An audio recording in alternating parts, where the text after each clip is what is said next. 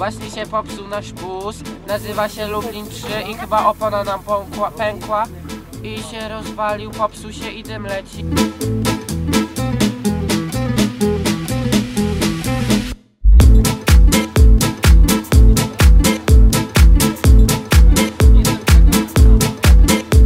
Autobus nam się zepsuł, znów! No, Jestem Grzegorz.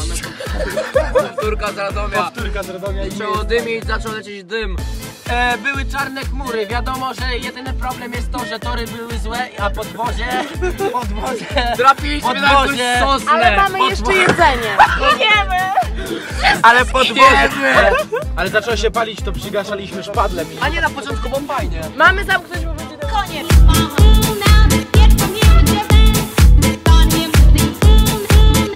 Mamy powtórkę z Radomia, bo znów zepsuł nam się pojazd i chyba nie dojedziemy.